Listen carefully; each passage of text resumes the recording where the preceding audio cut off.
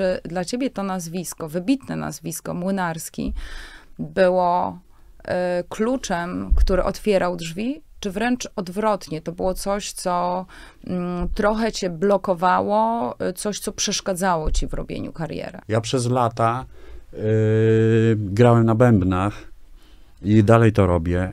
I to jest akurat takie zajęcie, które polega na tym, że jak y, jesteś w tym kiepski, to y, chociażbyś miał Rockefeller na nazwisko, to i, i nic nie zrobisz z tym.